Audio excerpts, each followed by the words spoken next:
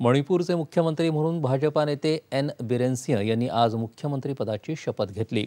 राज्यपाल एल गणेसन यांनी त्यांना पद आणि गोपनीयतेची शपथ दिली. बिरेन सिंह यांची दुसऱ्यांदा मणिपूरचे मुख्यमंत्री म्हणून निवड करण्यात आली. त्यांच्यासह टी बिस्वजित सिंह, वाय खेमचंद सिंह यांच्यासह अन्य पाच जणांनी देखील मंत्रिपदाची शपथ घेतली. शपथविधीला भाजपाचे राष्ट्रीय अध्यक्ष जे पी नड्डा उपस्थित होते.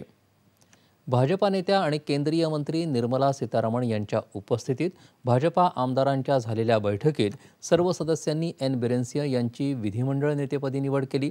या निवडणुकीत बिरेनसिंह यांच्या नेतृत्वाखाली भाजपानं बत्तीस जागांवर विजय मिळवत बहुमत मिळवलं आहे. पंतप्रधान नरेंद्र मोदी यांनी बिरेनसिंह यांचं मुख्यमंत्री झाल्याबद्दल अभिनंदन केलं आहे.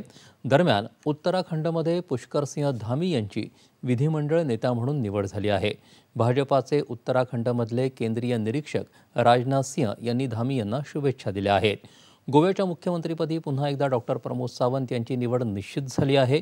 नवनिर्वाचित आमदारांनी सावंत यांची आज विधिमंडळ पक्षनेतेपदी निवड केली अशी माहिती गोव्याचे निरीक्षक नरेंद्रसिंह तोमर यांनी दिली.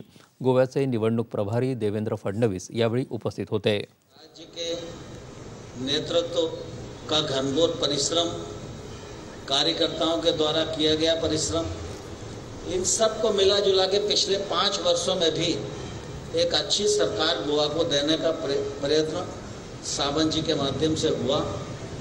और वो अब अगले पाँच साल के लिए भी राज्य विधानमंडल दल के नेता आज चयनित हो गए हैं।